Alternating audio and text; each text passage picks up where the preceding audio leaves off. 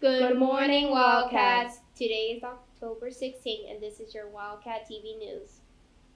In club news, there will be a Bible club meeting on Thursday in room 311 immediately after school. The debate club will have its first meeting on Friday at 2:30 p.m. in room 4 439 with Mr. Urusunu. All Wildcats are welcome to join. The art club meeting for Thursday, October 10th has been rescheduled to Thursday, October 24th. See Mr. Albareo for details. In sport news, there will be a softball interest meeting on Thursday in room 229 after school. No experience is necessary to join the team. That is for today. Have a great Wildcat Day.